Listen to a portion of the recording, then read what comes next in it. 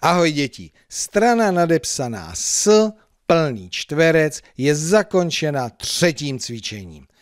Prosím, přečtěte mi zadání. Děkuji. Slyším. Povídej a vyber. Dobře. Povídat budete o myšlenkových mapách, jsou tady dvě.